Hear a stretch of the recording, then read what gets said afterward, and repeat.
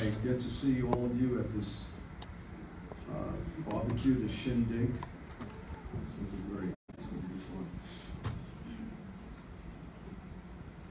Also, in the church app, you can listen to all the messages online. There's a podcast, so there's audio capacity on there. All right. So let's just pray. Father, we thank you for your word. We pray that you would help us to understand the things that will be spoken. Thank you that you've given us your wisdom and your understanding, that we can uh, be taught the Word of God from the Holy Spirit. And we're expecting that to happen today. In Christ's name, amen.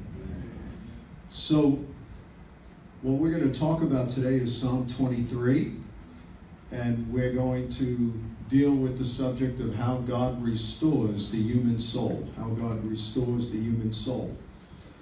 And Psalm 23 is filled with a lot of pictures, metaphors, things that depict God's love and care for us. Um, it's just an amazing psalm, probably the most popular psalm that we have in the Bible and one of the most important in the Bible. And uh, it was written by David. And one of the things I like about David, King David, the greatest king of Israel, he was the second king after King Saul, is that David was very much in touch with his human soul. He was in touch with his emotions. So he was a very balanced person. He was an incredible man of war, uh, an amazing fighter. He was able to take down the greatest warrior in the Philistine army. At the same time, he was a great king. And at the same time, he was a great songwriter and psalmist. So he was a well rounded person, a leader, a fighter, a thinker, a songwriter, a worshiper of God. And this psalm basically exemplifies uh, what he thought about God. It just summarizes his view of God. Now, with all the experiences that David has had, this is something that will speak to all of us, no matter what your background is. Even if you were never called to be a king, uh, even if you're not a leader. Uh, the, this is amazing because David experienced betrayal from those closest to him, even his family. David was persecuted by his own spiritual father or leader who was jealous of him, and his leader tried to kill him. Uh, he himself experienced great moral failure and let down his own people and his, and his own God. Um, he sought God and loved God even in spite of his failures. And this psalm shows us how he viewed God. And so, no matter what you've been through, I'm sure all of us here have been wounded in life. Most, if not all of us, have been betrayed.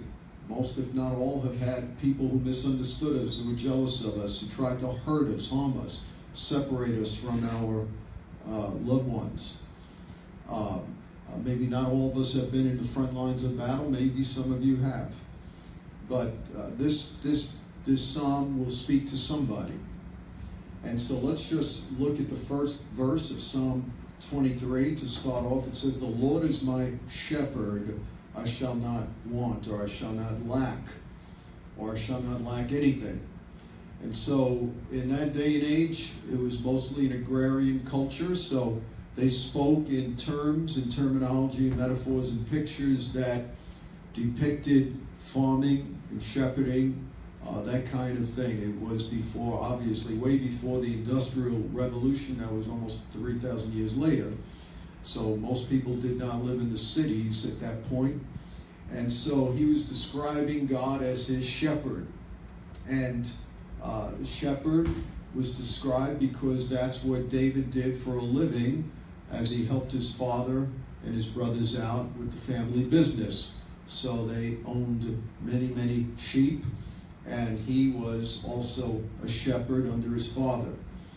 And so he, as he was in the shepherd's field, I'm sure he would pray and think about God, and he would be able to connect how he cared for the sheep in the midst of many, many different circumstances that we'll see in this psalm. Uh, he showed how God was the same way with him. And so when he says, I shall not want, uh, he took care of the sheep. He was somebody who would not allow the wolves or the lions or the bears to kill the sheep or attack or steal them. Uh, he was guiding them through every single uh, pasture or every single route, uh, whether it's a, a, valley, a hill, uh, whether it was filled with grass, whether it was a desert ground. He was the one that protected the sheep. He was the one who brought them through all these different circumstances that they would experience. So when he said, I shall not want or I shall not lack, what he's saying is no matter what we go through in life, God is going to be there for us. God is going to provide for us. Whether it's financial lack, whether it's a physical lack, emotional, whatever it is, even divine healing, uh, God is there for us. And as we uh, serve the Lord, this is how we can experience God.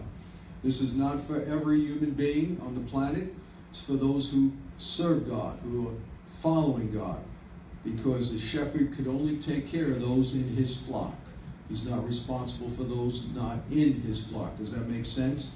So if there's a sheep somewhere else, uh, or if it's not in the confines of his property, uh, that shepherd is not responsible or cannot help him. So when it says, I shall not lack anything or I shall not want, that implies that it's for those who are following the shepherd, those who are in his sheepfold. And then it says, He makes me lie down in green pastures. I like that. He makes me. Now, I don't know if that means that it was part of the routine that the shepherd followed to cause the sheep to go to green pastures or if it literally means he forced them. In the Hebrew, it actually says make.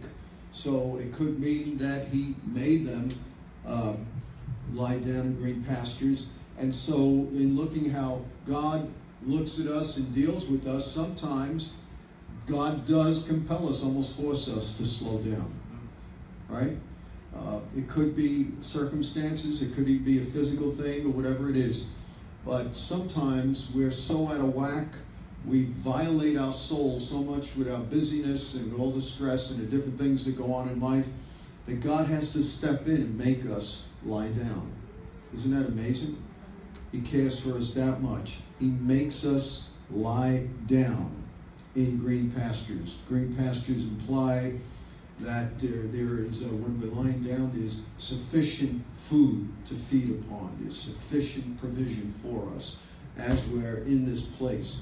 So there are some times in your life where you need a lot of space. That's normal. Look at this. He makes me lie down. There's some times in life where you need to be alone. Sometimes in life where you need to uh, be on vacation. You need to uh, carve out time for yourself. Uh, nothing wrong with that. Uh, one of the things I see about this psalm is it's really focusing on the care God has for all of us as individuals. Now that's important because many of the passages in the Bible have to do with how we are operating in the context of either the nation of Israel, Old Testament, or the church, New Testament. Uh, a lot of these are corporate passages, which means that you can't really apply Scripture if you're not in a church, even walking with God in the fullness and walking in your purpose. But when it comes to this particular psalm, it does imply that the sheep are together, but it's individualizing it. It's talking about how God individually cares for each one of us. Um, and so it says, He makes me lie down in green pastures. So God will interrupt the rhythm of your life if you are not taking sufficient time to rest. He will interrupt the rhythm of your life. It could mean that, you know, you just can't go on anymore. There's sometimes I've uh, you know, I'm, I'm definitely on the edge more than I should be in my schedule. And uh, there are sometimes I'd fly back from being in Argentina or being back from Brazil or a long trip, and immediately I go to work. And a few times my mind shut down. I could not. It wasn't even physical. My mind couldn't work. It was like a, a brain freeze, or it was like your computer froze. And I said, oh boy, I can't do this and it's gotten more like that in the last 10 years. So I have to learn that I'm not the same age I was. So I had to make a shift about 10 years ago. And now I have to carve out time in between trips. I remember one time I was uh, ministering in, in one city after the next, and uh, I was just burned out because they I would land, go preach, minister, then go to the next city, land, immediately preach. So I told the host next year when you have me come back, I refuse to minister the same day I land in a new city. I will not minister till the next day. Next year, he had me land and go. And I'm not going. What do you mean? I said, i already told you I'm not going. Oh, what about this? I don't care. I'll minister tomorrow.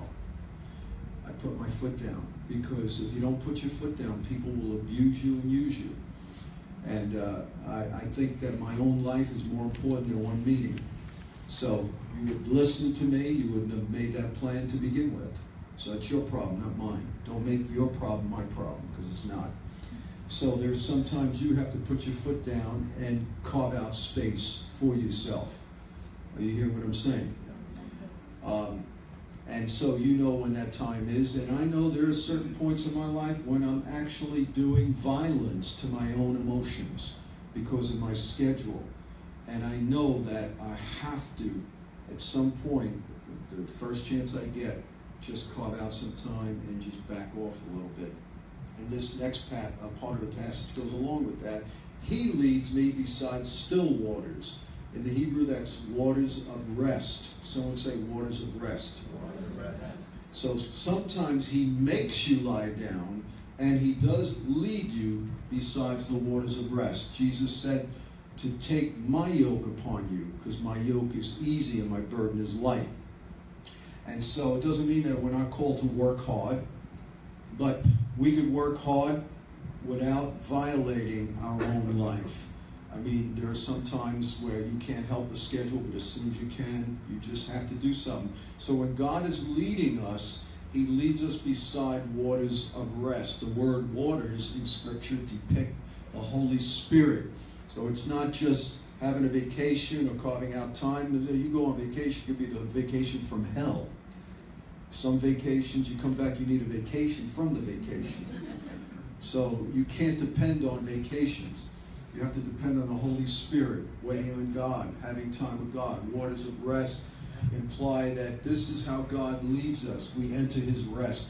We walk in his presence. No matter where we are, even in the midst of hard work, we can still enter his rest. Cease from our own labors, enter his rest, and have the Holy Spirit empowering us and giving us soul rest. And then right after that, verse 3, after he says he leads me beside the still waters. I don't know, there's something about water that's medicinal, isn't it? I just love, I, I had to live near water. Uh, so in Bay Ridge, we're only a few blocks away, so I could just go bike riding or walk right near, you know, right off the pier over there. Uh, water, the, the sound of water, of waves, when you're sleeping at night, uh, it's just amazing, isn't it? There's something about water, and that's how God planned it.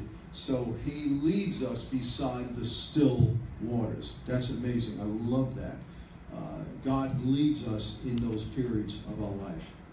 And then it says that he restores my soul. Wow. What does that mean? Your soul has to do with your emotions, has to do with your thoughts, your feelings. It has to do with your will, your intellect, so your soul has all of these elements of what gives us self-consciousness and what makes us a human. That differentiates us, uh, self-awareness part from animals.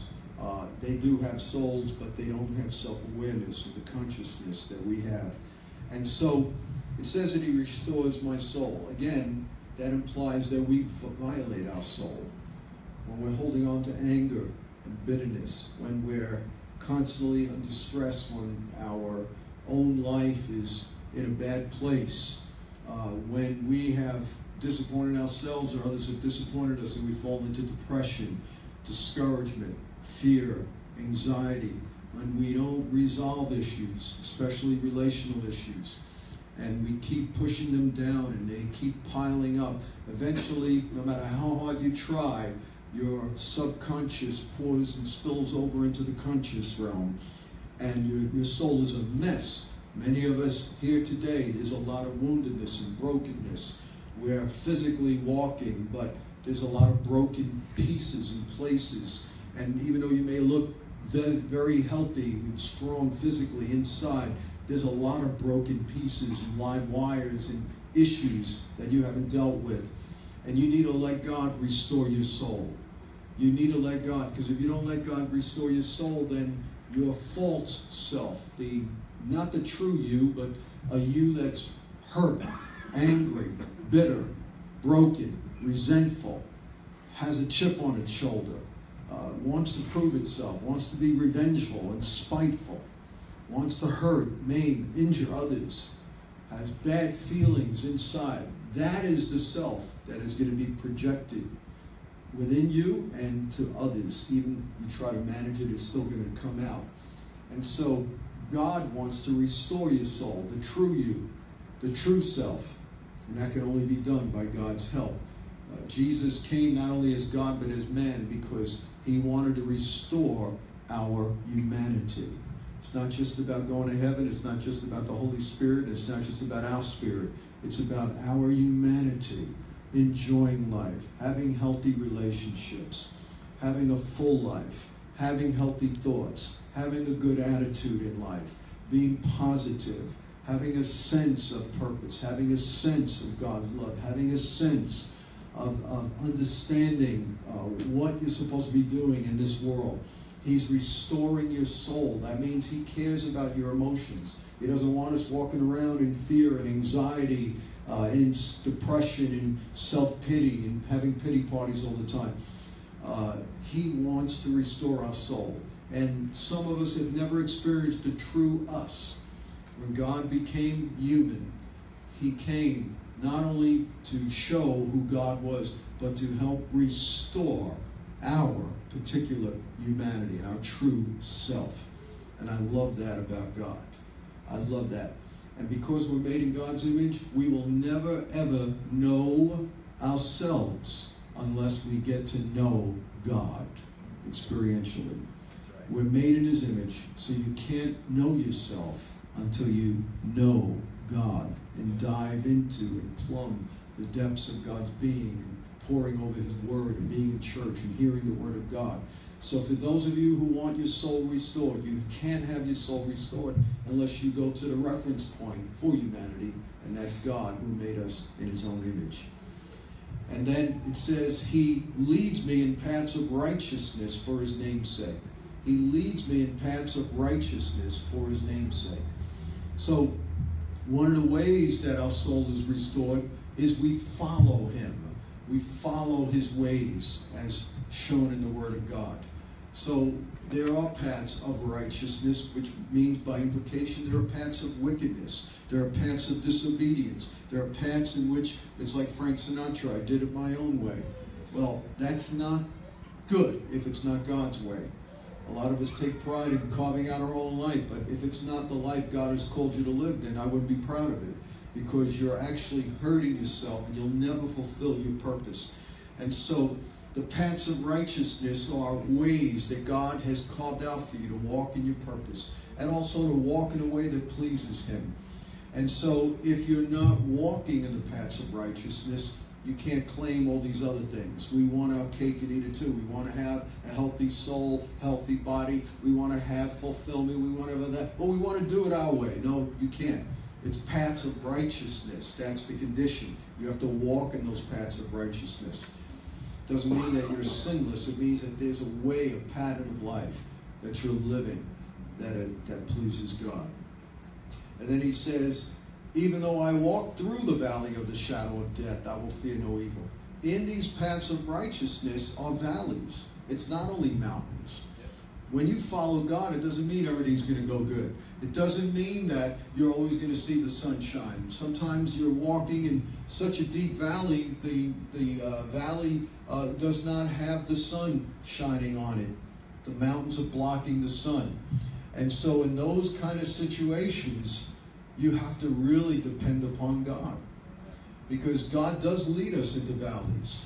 There are emotional highs and lows we go through, of course, But I believe this is also talking about times of testing. It's talking about times when we can't see the light, times when we are in relational conflict, times when there are situations that we can't explain or things that are very, very difficult in our life. And we all go through that, and we all, some of us live in that for many, many years. And so he's saying that the path of righteousness includes valleys. It's not just mountains. I'd love to stay on top of a mountain.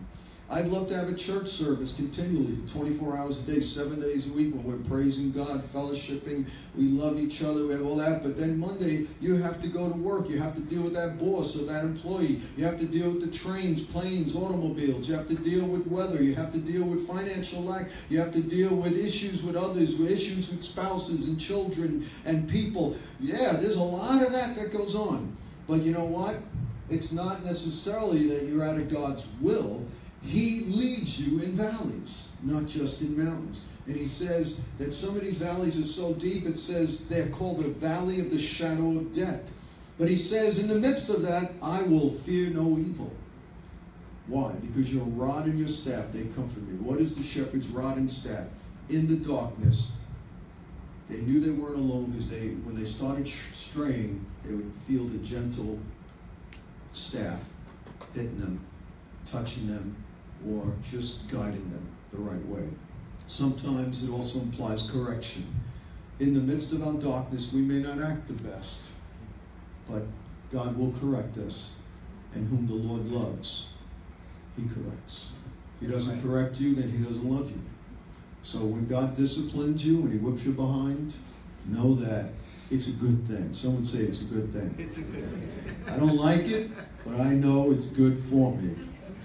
Uh, I remember my dad would, uh, no, it wasn't my dad. It was when I was in school. They would, you know, I'm, I'm a little older than most of you, so when I was in school, they spanked us.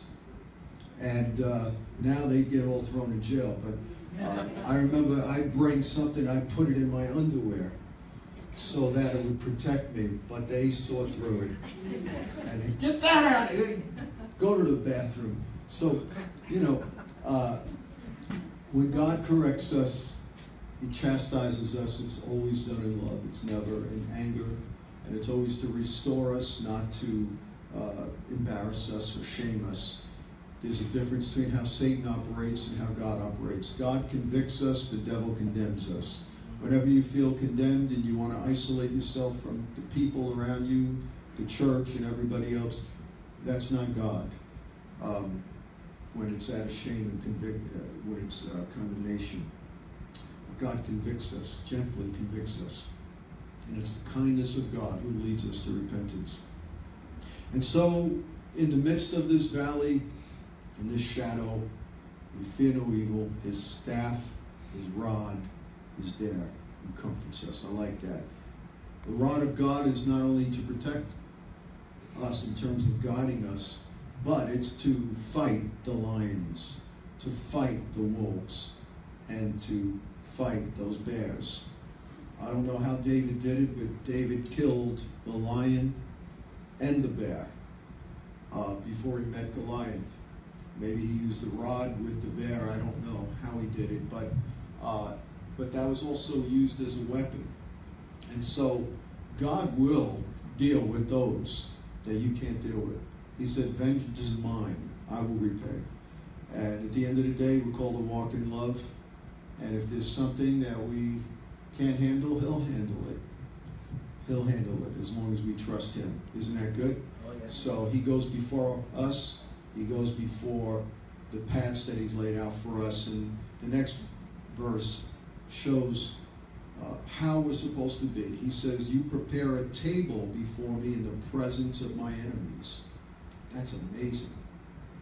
Shepherd would take the sheep to a certain mountaintop, and it was called a table, where there was a lot of grass and actually looked like a table from far away, and they would be able to just feast on this grass.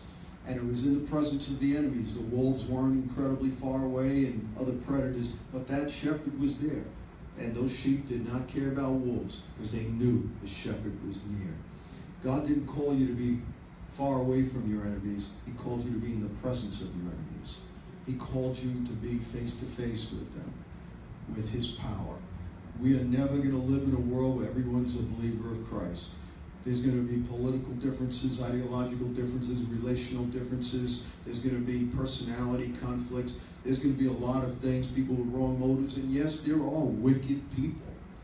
I'm not one of those who believe that everybody's good. No, everybody is not good.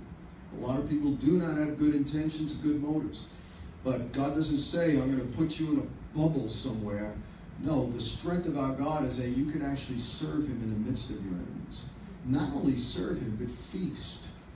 Don't worry. Eat. Have what you need.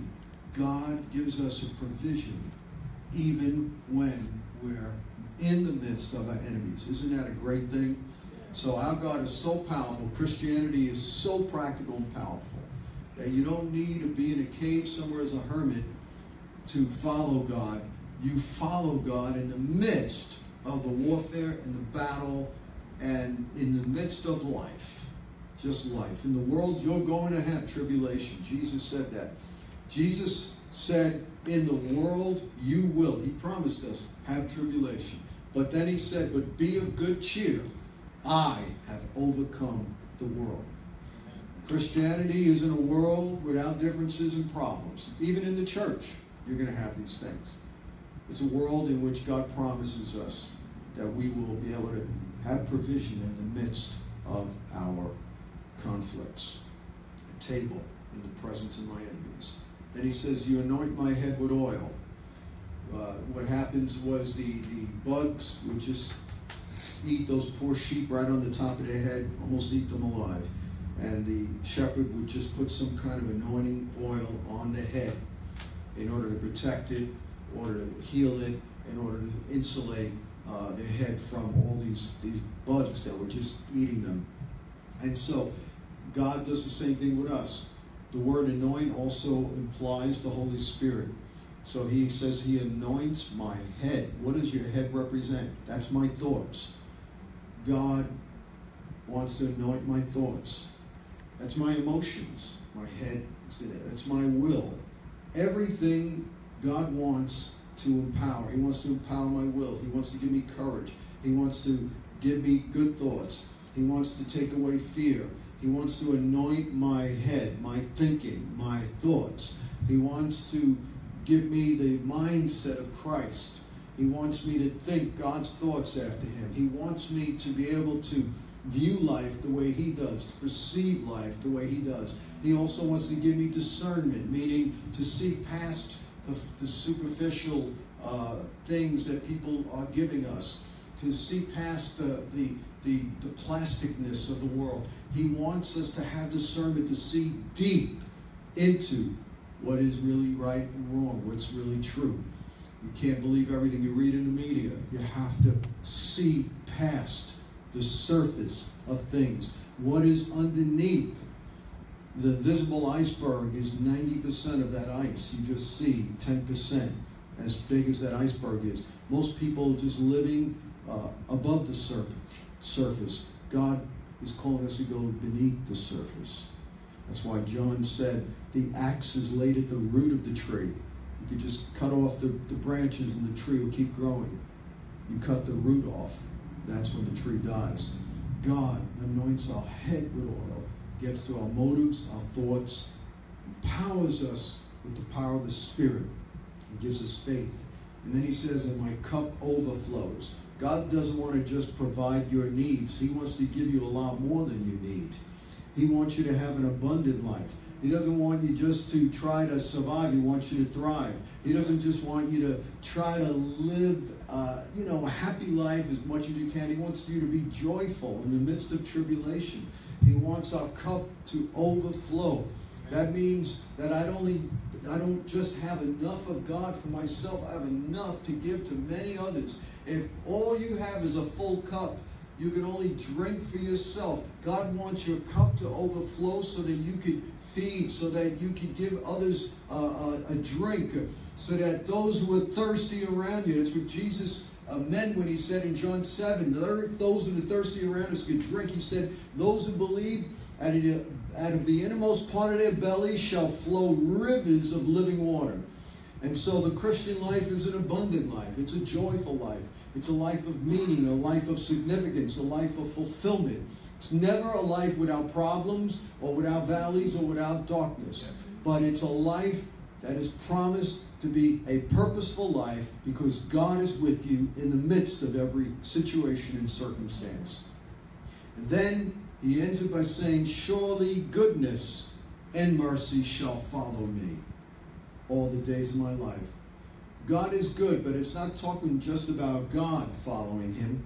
When he says, Goodness and mercy shall follow me, that means that God himself will providentially orchestrate your circumstances so that no matter how bad it is, no matter how dark it is, no matter how deep the valley, it's going to work out for good. If you stay on the path of righteousness, God said, goodness and mercy shall follow you. In the beginning, beginning, it doesn't look like that. It doesn't look that good. But if it always looked good, how would you be tested? How would we know what we really believe? How would we grow in our faith? How would we know if we're really trusting God? If it's always good, then how in the world are we going to be challenged? It would be like someone going to the gym. You could bench press 300 pounds, but every time you went to the gym, you bench pressed 100 pounds. You're never going to get stronger. You only grow by being challenged, by resistance. And so he says, Goodness shall follow me. That means that in front, in the front end, it doesn't always look good. But God works it out for good if you trust Him and don't give up. Goodness and mercy. Mercy means that when I mess up, even if I don't follow it the way I should 100%, but as long as I get back on track. Now, David was a, a man after God's own heart, even though he fell into some grievous sins. But because he was a man after God's heart, mercy followed him. And Christianity is not for the perfect, it's for the forgiven. And we all need forgiveness because we're all going to mess up. How many understand that? We're all going to mess up. Maybe some of you have been messing up big time and you came to church anyway, and I applaud you for that because mercy follows you all the days of your life. And I will dwell in the house of the Lord forever. In Hebrew, it's for the length of my days. Meaning, you're always going to have a place in God's family. The house of the Lord is a metaphor for his family. You know, heaven begins when we come to Christ. That's eternal life. We have a glimpse, a taste of it inside of our hearts. When you pass from this life, you immediately and seamlessly transition into the next life. You may not even know that you died when you die. The consciousness is just going to be so instant. That's why Jesus said that those who live and believe in me shall never taste death. That's John 11. You're not going to experience, you're not even going to realize. You're just going to go from the physical to, wow, spiritual realm. And what God is saying here is forever. You're going to be in his family. You may transition from the earth to heaven, but you will always remain in his family if you are one of his sheep and believe in him. Let's pray.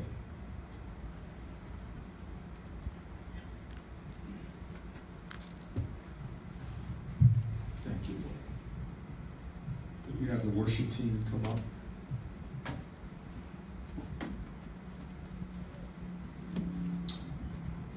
Thank you, God. Lord, we thank you that you are our shepherd, and we will lack nothing. That you make us lie down in green pastures. That you lead us beside the waters of rest. And you restore our soul.